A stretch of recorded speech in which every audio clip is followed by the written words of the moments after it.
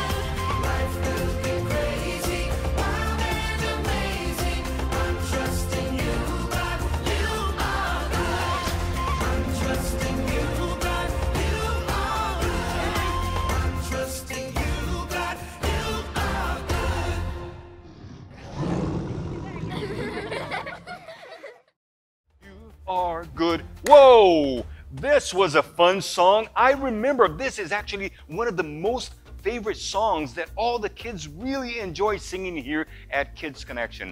Keep coming back during the week and sing this song again. It's going to be on our page here on the very bottom of our Kids Connection page so you can sing it again and again later in the week.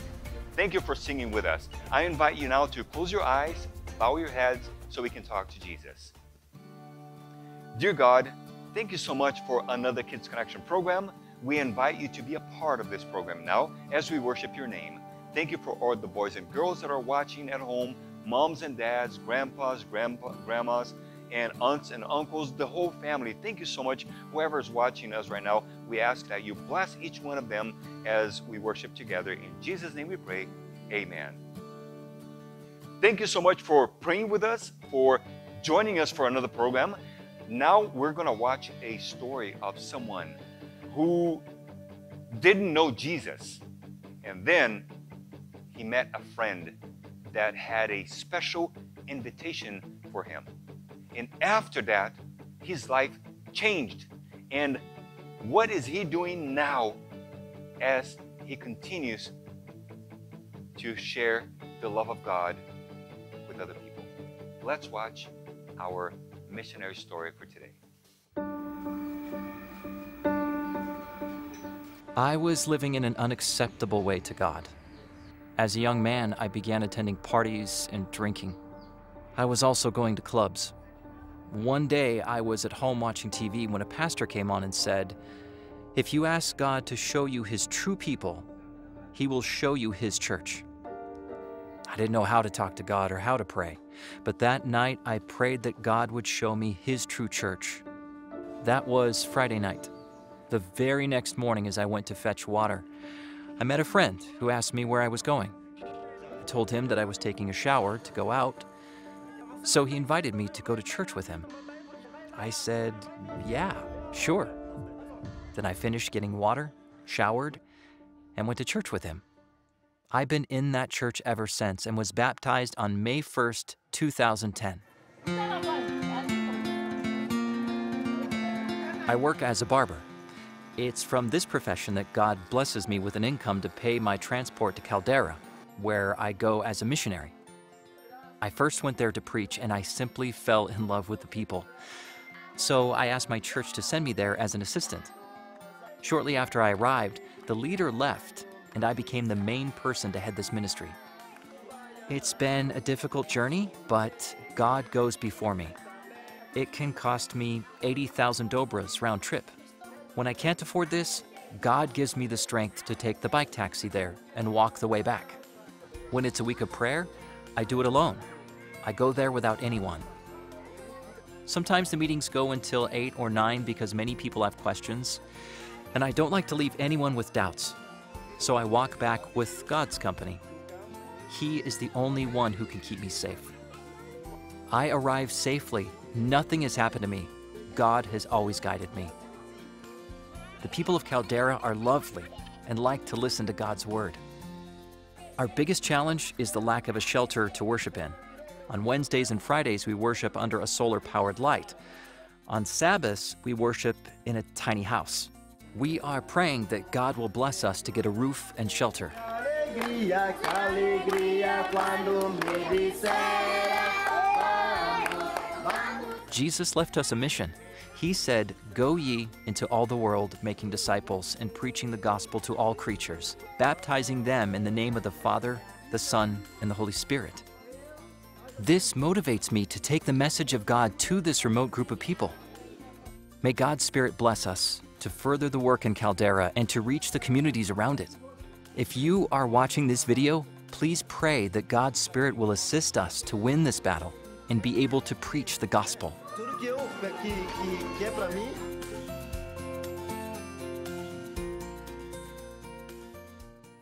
The missionary stories are always amazing, and it's so nice to see how people are preaching the love of God to other people in other places of the world, and how they are devoted uh, to preach and to be missionaries, and how much they need our help.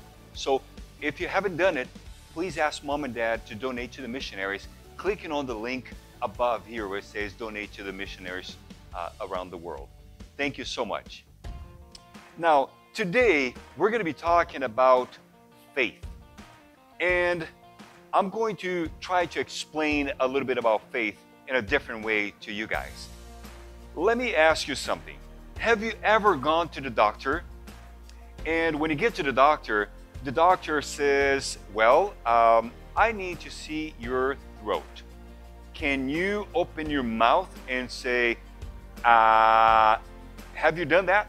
and he asks you to stick stick your tongue out, right? So he goes, uh, why does the doctor ask you to do that? Do you know? Well, I learned something this week because I wasn't too sure. I, I thought I knew and I knew one of the things, but I didn't know the other. Well, let me share this with you, and hopefully, next time you go to the doctor, you'll remember this. Um, the doctor asks you to say ah with your mouth open because he wants to check the muscles inside of your by, by your throat, all the way in the back. He wants to see if those muscles are vibrating and they are working properly. So when you say ah, the muscles vibrate on the walls and they want to make sure that you that everything is working okay. Now, another interesting fact is that do you know what a uvula is? Well, uh, the uvula is that little thing that hangs on the back of your throat, right? All the way inside when you open your mouth, when you open your mouth, um, when you have a chance, look yourself in the mirror and open your mouth really wide. And you're gonna see that pendulum hanging on the back of your throat. That's called the uvula. Now, the doctor looks at your uvula because he wants to see the shape of your uvula. It has to be uh, like on a punching bag shape, and the color has to be like reddish pink to make sure that you are healthy. And if that's how your uvula is, then you're healthy. But sometimes our uvula is not on that punching bag shape, it is uh, lopsided. And if it is lopsided, or sometimes it even has some dots on it, that means that you could have sinus or you could be coughing or have been coughing a lot.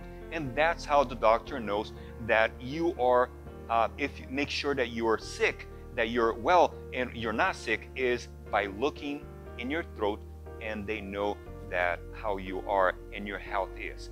Now you know, next time you go to the doctor, you remember this. Yes, the doctor is checking my uvula and he's also checking the muscles on your on your throat. And that's how he knows you are healthy. It, that make sure he wants to make sure that you're healthy.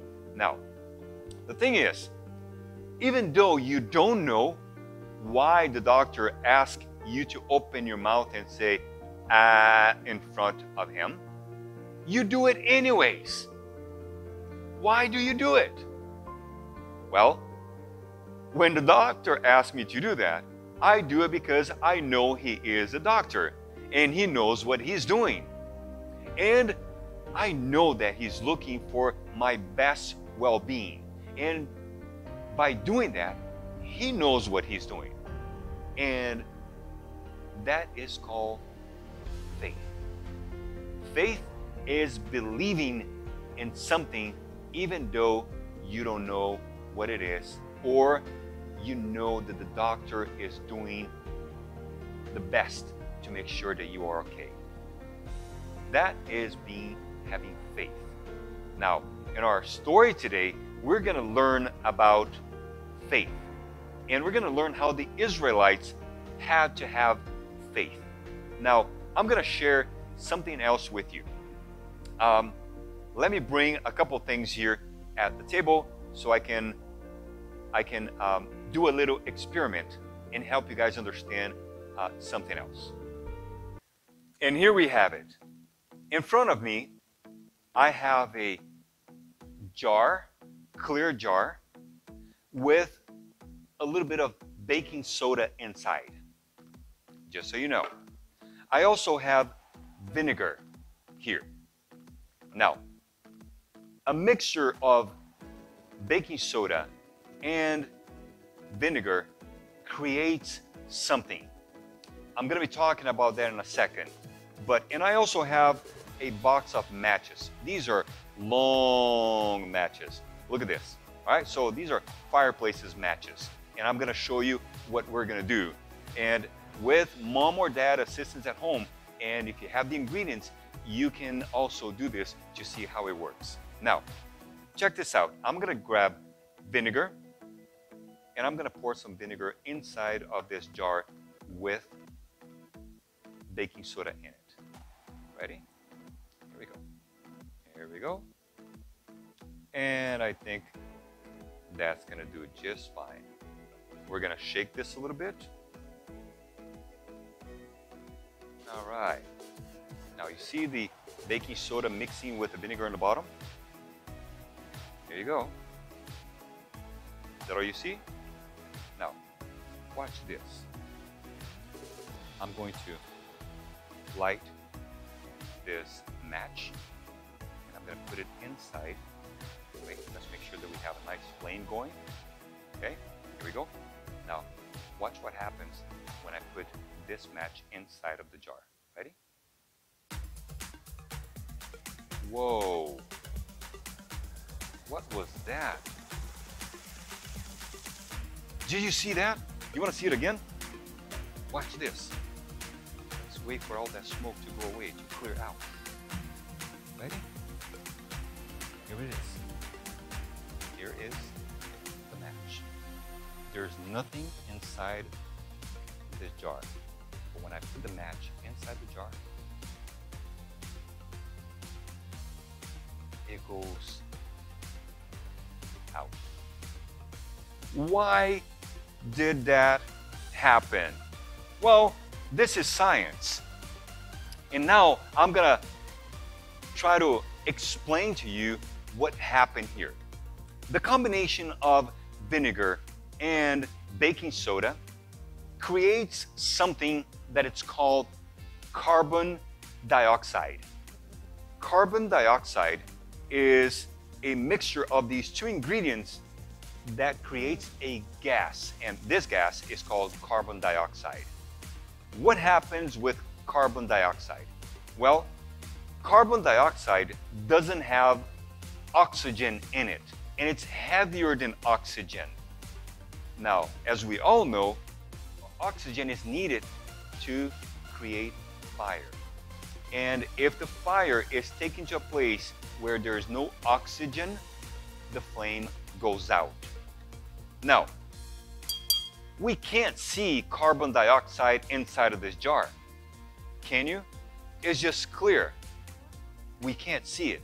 Now there's still some smoke here. But because carbon dioxide is heavier than oxygen, it stays inside and it doesn't allow oxygen to penetrate. So when we light a match and we put inside, and because we don't have oxygen, the flame goes out. That proves that carbon dioxide is inside the jar. This is also the same chemicals or the same gas that is used on fire extinguishers. And that's why we use that to put out fires because once we blow carbon dioxide to the fire, it extinguishes, it puts out the fire because there is no oxygen on carbon dioxide. Even though we can't see carbon dioxide, but we know that there's carbon dioxide here because the flame was extinguished. The flame went out as soon as we put it inside. Now, in today's story, today's lesson, we are going to learn about a story of, on the, of the Israelites, where the Israelites were fighting a bigger power, just like the carbon dioxide heavier than oxygen.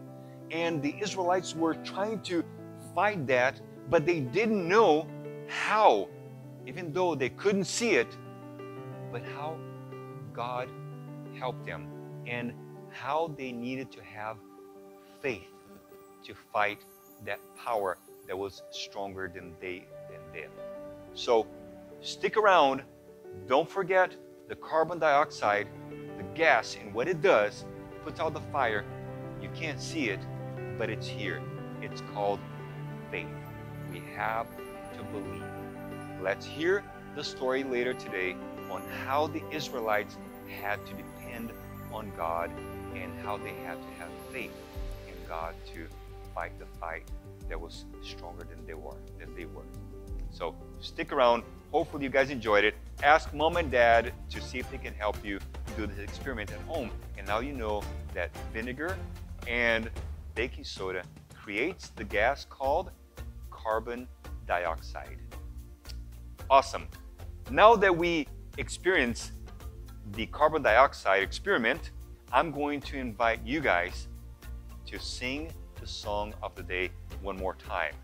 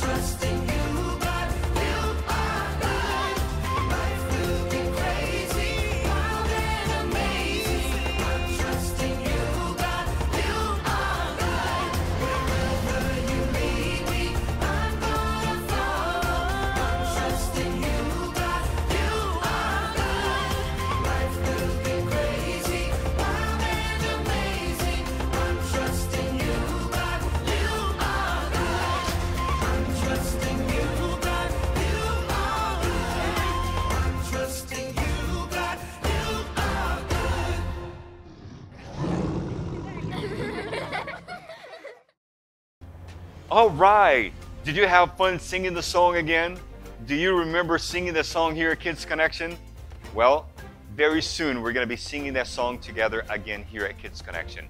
Keep praying for our return to our church, and hopefully it'll be very soon. And I can't wait to see you guys here at Kids Connection. Now, I'm going to invite you to close your eyes so we can finish our program with a prayer today. Dear God, thank you so much for all your power, and thank you because we have the faith in you. Thank you because we trust you, and thank you because you are good. Help us to continue to trust you, even though all these things are happening around us. And help us to continue to be good boys and girls to glorify your name. Be with us today now that we learn more about you in our lesson. In Jesus' name we pray. Amen. Thank you for praying with us. Thank you for being a part of another Kids Connection program. Here are a couple announcements for you. Mom, Dad, today is the second Sabbath of the month, June 13. And this afternoon, we have Parents Connection. We're going to connect on Zoom. So, mom and dad, you are welcome to connect with other moms and dads, and we're going to be talking and chatting, making sure that everyone is okay this afternoon at 2:30. Okay, via Zoom. Now, remember that I was saying that this week was a hot week, and whoa, it was hot. Today's also going to be a hot day, but we have something very cool happening. Guess what we're going to do? We are going to celebrate the graduates. Oh, wow, this is so nice. Were you, have you graduated from kindergarten? Or do you know someone who graduated from eighth grade? Or do you know someone who graduated from college or from high school or from any higher degree? Well, this afternoon we are going to honor all those people who have graduated right here at church, at Vallejo Drive Church. How is that? A few members, some members of the church, including the pastors, I am also going to be there. We have decorated our cars with balloons, with signs, with, with whistles and bells and drums and music. And this afternoon, we are going to be in the church's parking lot between 4 and 5:30 for an hour and a half and we're going to invite everyone who have graduated in this past week or the week before or this year if you have graduated come by the church we are throwing a party for you it's a drive-through party it's a drive-through graduates celebration and we're going to cheer you up. We're going to wish you success. We are going to sing with you. We're going to jump up and down with joy because you deserve to, to be that honor. You have accomplished something amazing. You graduated. Did you graduate kindergarten? If you did, ask mom and dad to bring you to the Vallejo Drive Church parking lot this afternoon starting at 4 o'clock. You're going to drive through and all the cars are going to be there and we're going to we're going to celebrate your graduation with you. Come on by, say hello. If you don't, if you haven't graduated, ask mom and dad to come anyways. Decorate your car so we can help honor other people and we're going to recognize what they did and the the accomplishment that they had. So come on, come on by the church this afternoon, and we're, we're hoping that you guys can join us. Now, this is today. Tomorrow, tomorrow is Sunday, Sunday the 14th. We are going to ask mom and dad to join us for a church business meeting. It is important that you join us tomorrow. We want to hear what you have to say. We want to join forces with you because it is our church, it is our voice. Your church, your voice. We want to hear your opinion and we invite you to be a part of that. If you haven't received the email with the invitation for the business meeting tomorrow, just email the church, Vallejo at graceandconditional.com, and say, I didn't receive the email to join the business meeting on Sunday. Can you send it to me, please? We'll go ahead and we'll send the invitation. There's a link there for Zoom. Log in at 9:30 for prayer time or at 10 o'clock for our meeting. We're going to be discussing some important things about our church, and we're going to be making some important decisions as well. And it is good for all the members of Vallejo Drive Church to be there and support the pastors and support the, the people that are waiting for your decision and uh, for your collaboration on what you have to say. So don't forget, Zoom tomorrow at 9.30 for prayer or 10 o'clock for the meeting. And sh- we should be done before noon, um, hopefully. Okay? So we're, we're hoping to see mom and dad tomorrow in our meeting. Great. Well, now let's go ahead and jump right into your lesson. The teachers have prepared the lesson this week, and we're going to be talking about faith and how the Israelites had to depend on that faith to help them carry through. Uh, let's watch our story in our Sabbath school lesson today. Thank you for watching. Thank you for staying around. Thank you for singing with us and worshiping God. We hope to see you soon here at Vallejo Drive Church and Kids Connection. Until then, I love you guys. See you next week. Bye bye. Have a great week. Well, good morning, boys and girls. It's good to see you today. I hope you had a good week. I would like to welcome some of you in Sabbath school today.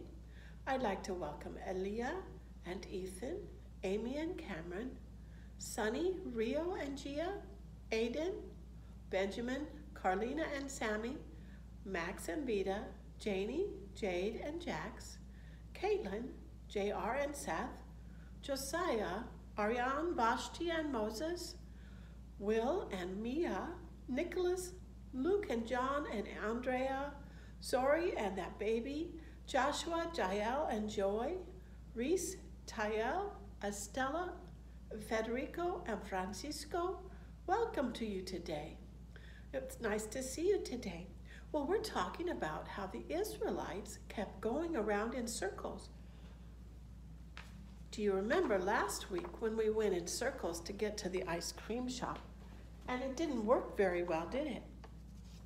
Today we're talking about one of the judges that God had sent to help the Israelites when they repented and said that they were sorry for not obeying him.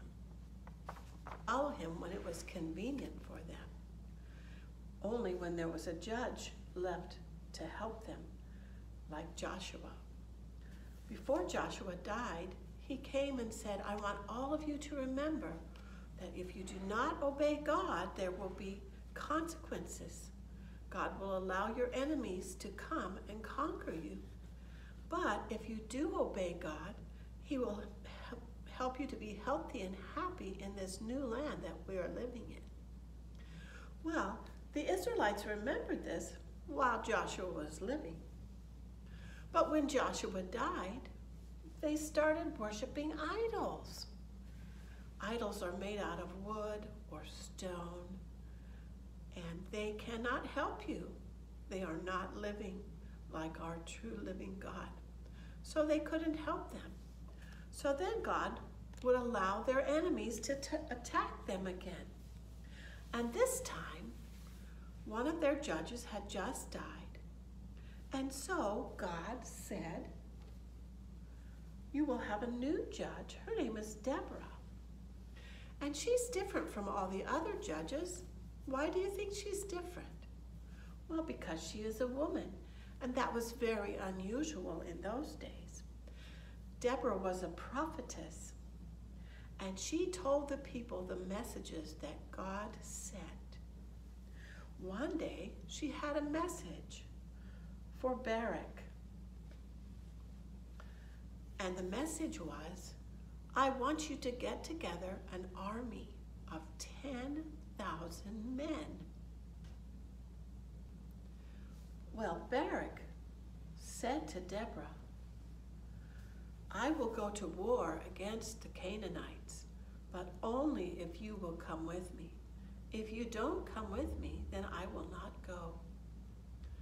Well, Deborah said, You are not trusting God's plan, but I will come with you. So she went with him, and they gathered up an army of people.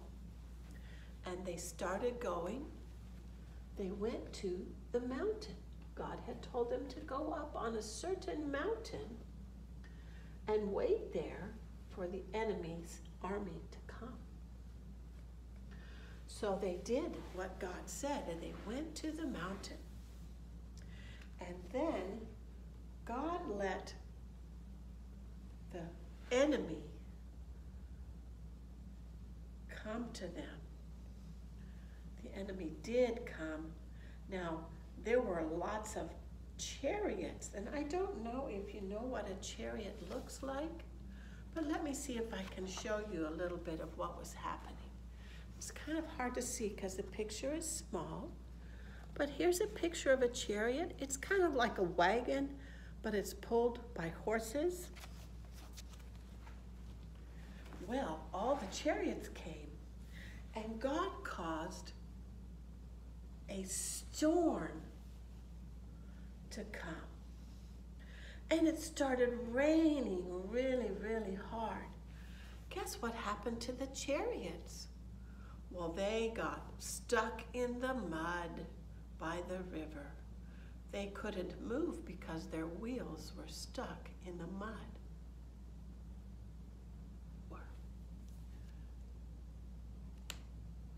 Well, the rain was pouring down, and the Israelites came down the mountain and they frightened the army so badly they couldn't move their chariots because they were stuck. So all of the soldiers jumped out of their chariots and ran away. And the Israelite army chased them and they captured the whole army. Just as God had planned and promised, the army was in a panic and Deborah and Barak and the whole army came down the mountain on top of them. Now, the leader of this whole army was very, very frightened, and he ran away to hide. Where do you think that he went to hide? He went and escaped to a tent where he thought some of his friends lived. He saw a woman there. This was her tent. Her name was Jael. And he went to her and he said, Don't tell anyone I'm here. I need a place to hide. So she said, Okay, I won't tell anyone. Go ahead and go into the tent and I will hide you.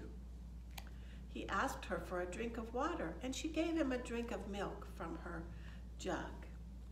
And then he laid down and he was so tired that he fell asleep. She covered him with a blanket. And while he was in the tent, she did something that gave her much honor in later years. She went into the tent and she killed the leader of the army. Now, God had said that Barak, because he doubted the plan, would not have the biggest honor of this war. The biggest honor would go to Jael, a woman. Well, Deborah had trusted God's plan, and she had talked to Barak about it, and he also trusted the plan. Now, when Barak came to the tent where the leader of the army was hiding, Jael took him into the tent and showed him what she had done. And she deserved the honor for that deed. She had showed him how God's plan actually worked. From that time on, Israel became stronger and stronger against Canaan. They destroyed Canaan and they destroyed the king, and then they had peace for 40 years. Well, Deborah had a big responsibility, didn't she? She told the people about God's plans. Do you think that was a hard thing for her to do, or do you think it was easy? I think it was sometimes difficult, especially since she was a woman, and women didn't usually speak out like that back then. What do you think Barak felt when he saw the rainstorm and saw that the chariots were all getting stuck? He had been worried that maybe the plan wasn't so good. But he found out that God's plan is always better than any plan that we could make. Do you think that Jael was frightened when she saw the captain of the army coming to her tent? She might have been a little frightened, but she also trusted God. She was very brave. How do you think that it felt being part of God's plan and being chosen by Him? Well, God showed again how gracious and merciful He was to the Israelites. Over and over they doubted and disobeyed Him. Yet the Israelites always received undeserved favor and grace from God. Whenever they turned to God and said they were sorry for their sins, He rescued them from their enemies. He raised up many judges to help them out. He, he gave them His unlimited compassion and mercy. Why do you think He just wanted to do that all the time, even though they kept disobeying Him over and over again? Well, one of the many reasons is found in our verse, and we'll do that in just a minute. But God is merciful, and that is just the way He is. When the Israelites depended on Him, He gave them the victory. And depending on God will always lead to His help. We depend on God to help us with a lot of things, and we trust Him and obey Him. Did the Israelites have to obey Him in order to get His help? Yes, they did. And that's true for us as followers of Jesus. We have to listen and obey His commands when we make our own choices and our own plans without asking Him what He has in store for us. Then sometimes our plans can go wrong. So we need to turn to God for help and direction. Well, God doesn't expect us to do things all by ourselves. We can turn to Him and we can pray about our troubles. We can ask Him for His help. We can study our Bible so that we know what He wants us to do. That is our written guidebook for everyone. There are many things that we can do. We depend on God to keep His promises. What if you had a friend who sometimes lied to you and told you lies and didn't keep their promises? Would you trust that friend? No, you probably couldn't trust that friend. But God is not like that. He always keeps His promises. When you have doubts and confusing thoughts about God, you can talk to Him about it and find some of His promises in His Word, the Bible. One of those promises is that He's promised to always love us. This can help us to feel very loved because we know that He always keeps the promise to love us. Another one of promises is God gives us peace. This can help when we have troubles in our family, if someone is sick or injured, or if somebody loses their job. We can trust God to give us peace. Now, another promise is that God is always there. He never leaves us. It can help you feel secure when you know that you always have a helper with you, no matter where you go. He's promised to answer our prayers. Sometimes He doesn't answer them exactly the way we'd like. We always want to hear yes.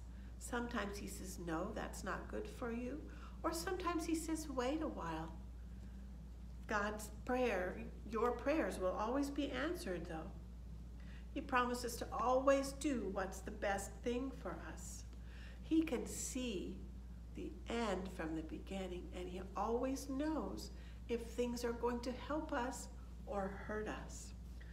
Well, we have learned that it's a good thing to trust. We trust God. We obey what He's asked us to do. Now, I would like to sing this song for you, and I think that we should take this as our theme song. It's an old song. I'm sure your parents probably know this song.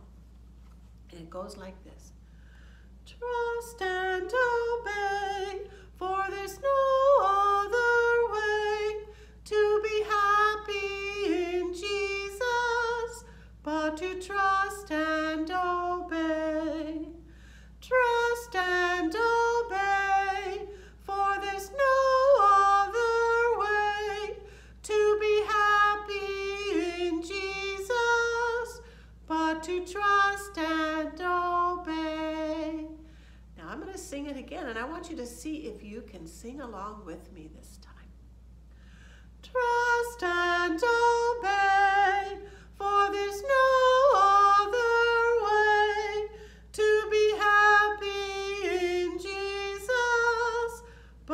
trust and obey. Well, let's take a look at our memory verse.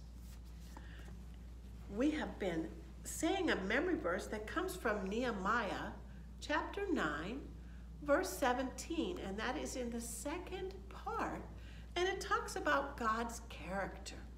So we remember the sign for God is this God is gracious and compassionate, slow to get angry, and quick to forgive. God is love. Nehemiah 9, verse 17. Let's try it again. God is gracious and compassionate, slow to get angry, and quick to forgive. God is love. Did you get it? Let's try it again and then you can practice it again later on. God is gracious and compassionate, slow to get angry, and quick to forgive. God is. You can practice that again later with your parents. I'd like to say a little prayer with you. Please fold your hands. Dear Jesus, thank you that you have so many lessons in your word, the Bible, that can help us to know you and to love you. Please help us to trust you and to obey your commands. In Jesus' name we pray. Amen. Now, I would like to show you your craft.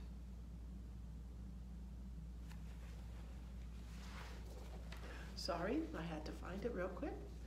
This is a picture of Deborah, and it says on the top, Deborah trusted God's plan. You can color it. You can also draw around here some things that you'd like to trust God with. You can put that you'd like to trust God during this pandemic. You can trust God when you're with your parents in the car driving somewhere. You can trust God to help you to obey your mommy and daddy. There are all kinds of things you can trust God for. And parents, on the back side, there is a daily, there is a weekly plan for you to help your children to understand a little more. Thank you for being with us. Have a good day and a good week. Hope to see you again soon.